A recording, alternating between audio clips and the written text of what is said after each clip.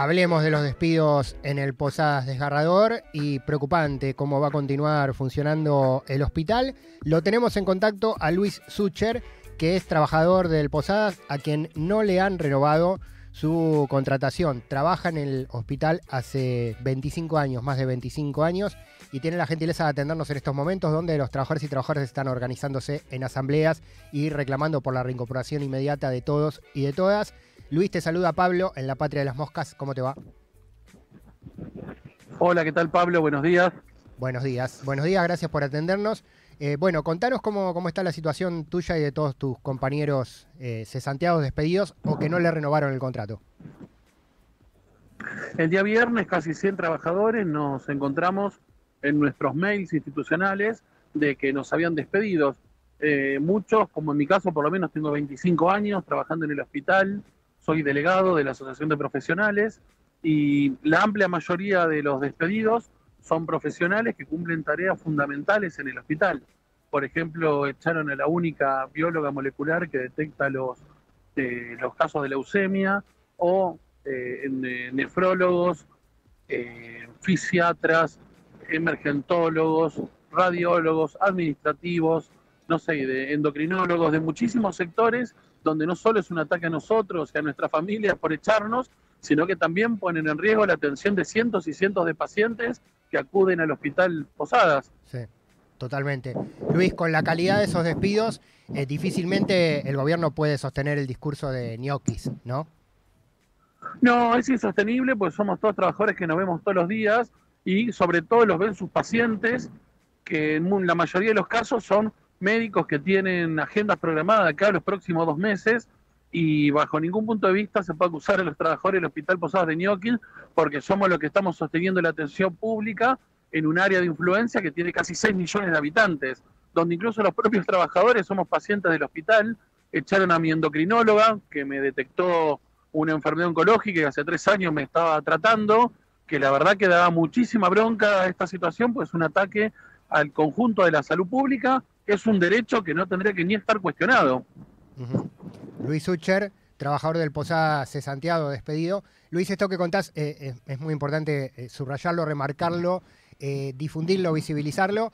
Los, las pacientes que vayan al hospital en los próximos días se van a encontrar que no está el profesional que los viene atendiendo quizás hace años y entre el paciente y el médico hay una relación también humana que se va eh, construyendo que también hace a la salud, ¿no? Hace a la recuperación, hace a los tratamientos. Eh, bueno, los pacientes empiezan de cero entonces. Completamente, pues están echando gente que salva vidas.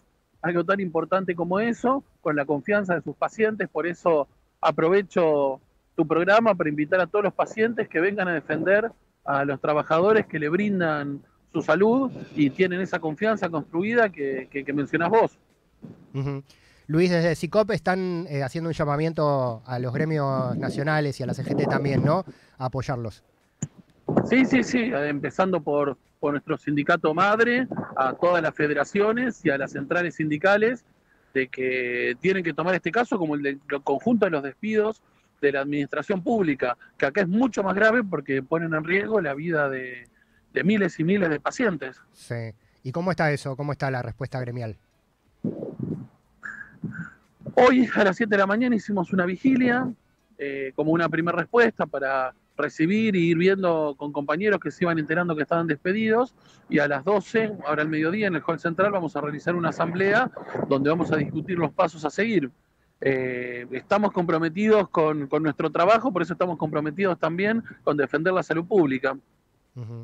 Luis Ucher está hablando con nosotros, despedido del Posadas, igual que nos dijiste cerca de 80 compañeros y compañeras, ¿no?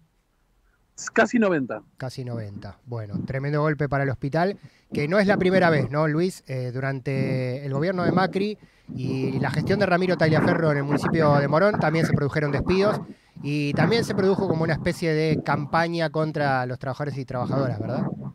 Sí, a mí en el 2018 me echaron también y por la organización y la pelea que dimos los trabajadores pudimos volver, pero en ese momento se hizo una campaña nefasta de querer ensuciarnos a los trabajadores, acusándonos de rotura de máquinas, de boicot, de ñoquis, pero ahora ni siquiera se tomaron este trabajo y despiden impunemente a profesionales de primera línea. La verdad que no, ni siquiera se tomaron el trabajo de querer ensuciarnos. Mm. Hace unas semanas echaron a nutricionistas, eh, neumonólogos y ahora están siguiendo con un montón de sectores que no solamente es el despido en sí, sino eh, cómo va a repercutir en la atención y el vaciamiento de esos sectores. Sí, totalmente. De alguna manera, Luis, eh, se vuelven a encontrar con el mismo verdugo, ¿no? Los trabajadores de Posadas, porque el actual ministro de, Salud del gobierno de Miley, Mario Russo, eh, fue secretario de Salud durante el gobierno de Tagliaferro en Morón, durante esto que recién narraste. Sí, sí, no paran de demostrar el desprecio que tienen hacia algo tan elemental como es el derecho y el al acceso a la salud pública. Contanos cómo van a seguir y reiterar la convocatoria a los pacientes y vecinos y vecinas y la comunidad del Posadas.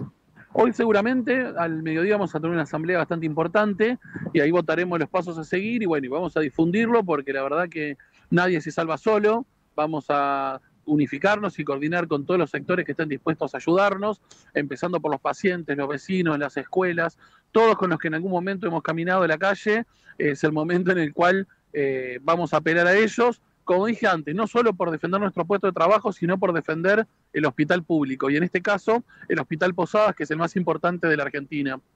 Ojalá se revierta la situación, Luis, con la lucha. Te agradecemos mucho este rato, este contacto, estos minutos y micrófono abierto en la cadena de comunicación y cultura para difundir todo lo que tengan que contar.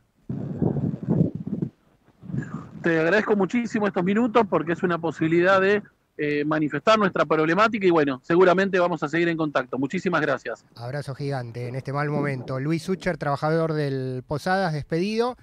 Otra irregularidad que le sumamos a la cuestión, además de los casi 90 despidos, es que este trabajador con el que hablamos es delegado del CICOP, tiene fueros gremiales del Sindicato de la Salud, sin embargo, decidieron despedirlo también direccionadamente. Bueno, asambleas, convocatorias, pedidos a la comunidad de apoyo y el alerta para todos los pacientes y todas las pacientes sobre la situación sanitaria y de atención que va a enfrentar el Posadas en los próximos días por esta decisión del gobierno nacional de Javier Milei.